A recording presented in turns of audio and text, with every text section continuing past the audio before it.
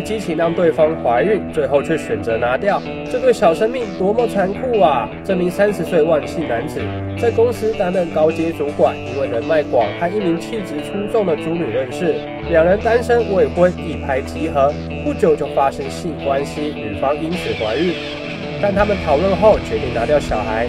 结果女方从此身体虚弱，必须常去医院看诊。可是她看病时，他没有时刻陪在她身边，还拿出一堆理由说没空，这让女方觉得很不公平。都闹出人命了，你怎么还不负责呢？她气得要他拿钱出来解决，突然就法院见。她认为被恐吓吓到提告。